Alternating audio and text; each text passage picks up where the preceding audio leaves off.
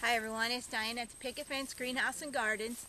Today is such a beautiful day out. We're in October 21st, I believe, and we are still having some really nice weather here in Iowa. And I thought I'm going to shoot another video today, and we are going to talk about watering your plants in the fall, your newly established plants, and also some of your established plants in the fall.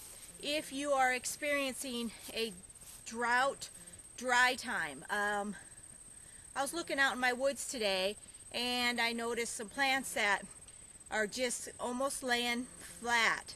Now, we, granted, we have not had a hard frost yet, so we can't blame it on that. I can see that they're needing watered. And we haven't had a rain here for probably, I would say, a good month, which was unusual because we experienced rain all spring and summer and lots of it. So now it's like totally different. We are experiencing a dry spell. Harvest is going really well.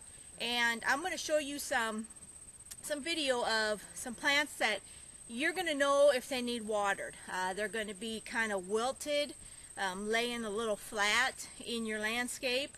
And we're going to go take a look at that right now. Um, I do want to say, I want to stress is watering in the fall is very, very important to assure that your plants come back the following season, especially the newly planted perennials. Okay, you want to assure that they are moist, especially when we get you get cold. If you're in a cold climate and you, it starts freezing at night and stays freezing, you want to make sure you get them watered in before that. So let's go take a look at it right now. I'm going to show you some perennials. Okay, this one here is a ligularia, and you can see how it's laying kind of flat and it looks totally dry and it is it's it's it's needing some some water right now. I'm gonna go over here to my golden Tiara hostas. They too are dry around this tree and I will get them watered in this week.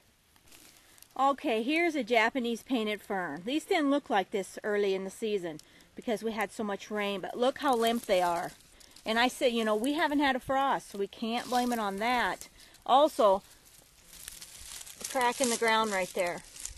We are dry, so I get this watered in before we the ground actually freezes and all the plants will be fine. I kind of do this every season, so I just want to say that, show Roxy, hi babe. There she is. She had to come out here and help today, but um, I just want to, you know, just just a reminder or a tip is to, if you want to keep your plants healthy, thriving and coming back every year, make sure that you water them in in the fall. Now, that's only if you're in a dry area or if it's really dry in the fall. So you guys take care and we'll talk to you on the next one. Bye.